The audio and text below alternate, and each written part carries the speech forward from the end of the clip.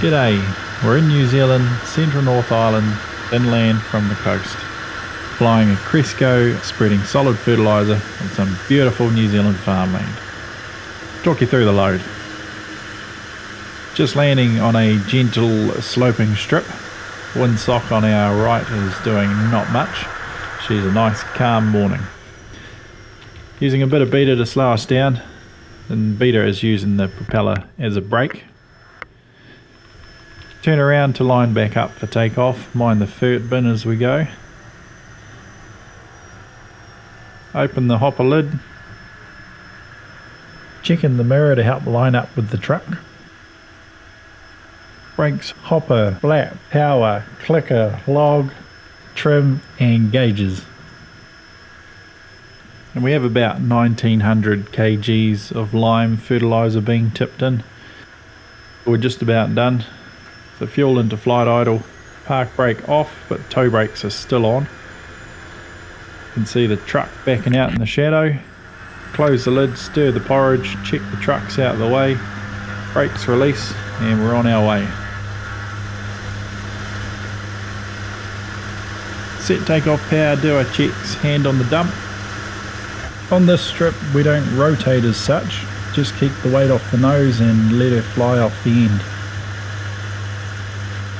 once airborne, lower that nose a little to let the airspeed build up, raise the flaps and turn towards our block as we bring the power back to max continuous.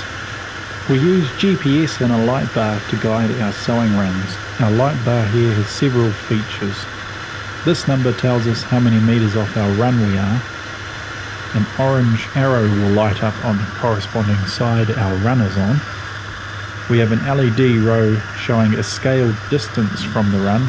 Green means it's on the right, red on the left.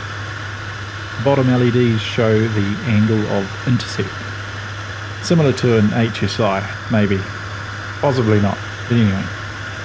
The number on the left is the current swath number, and blue lights mean our doors are open. We turn onto our block using the light bar as a guide. The ridge is our starting boundary. Cross the fence open her up. Blue lights are on so we know our hopper doors are open. Have a look at our wing mirror to confirm the fert's flowing nice and freely. Base of the hill is our end boundary. Close the doors, glance the GPS guidance to our next run and turn us around to line up. Looking outside where we want to roll out and cross-checking with the light bar and just where necessary. This is our boundary. Open our doors, blue lights on, Check the mirrors, she's flowing freely. Clear of the house, but keep note for our next run. Watch the wires coming up on our right. Keep out of their way. Load's empty, it's the end of our run. Hang a roger and head back to the strip. A quick glance back to see how cool it looks. Yep, she's a solid 10 out of 10. We have a few spare moments on our way back. Good time to check out how the whitebaiters are going below us. We'll start setting ourselves up for landing now. Bring our power back nice and gently. Start tapping the elevator trim to keep us on the correct approach path as we slow down. Gentle turn to line us up with the strip. Power back to idle. Flare and touchdown. Windsock still doing nothing a little bit of beta. The gentle upslope does a good job slowing us down. Take it gently up here, there's been a bit of rain and it could be a bit slippy. Mind the bin, truck's out the way, ease her around and line her up again.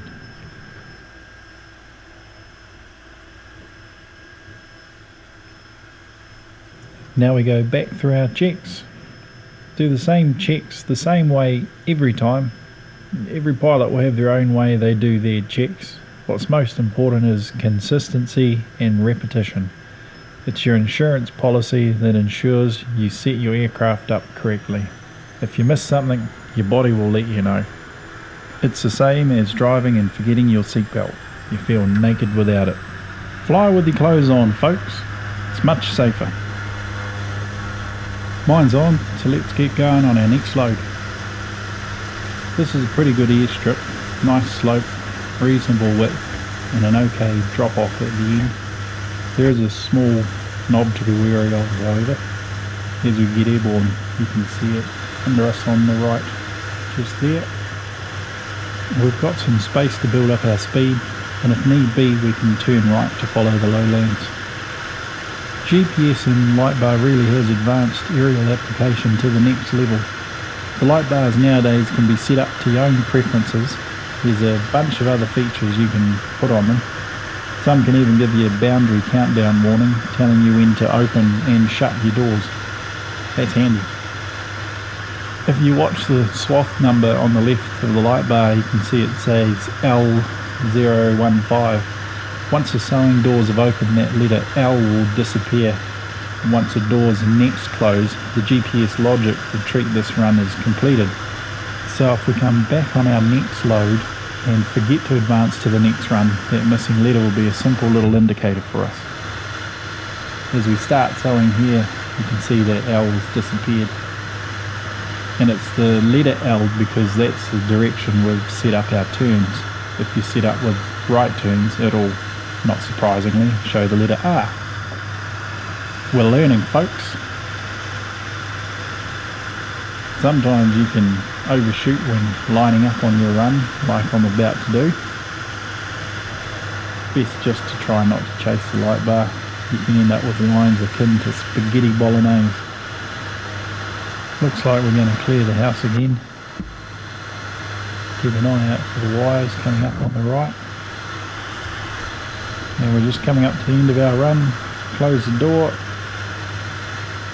Another quick glance back. Yep, she still looks cool. There's certainly a bit of learning involved when it comes to the GPS and light bar systems, but once you get the hang of it, it's really second nature and it's almost harder to do a job without it. And that's us. Here's a little impromptu tutorial on how the light bar works. Hope you enjoyed it. Hooroo.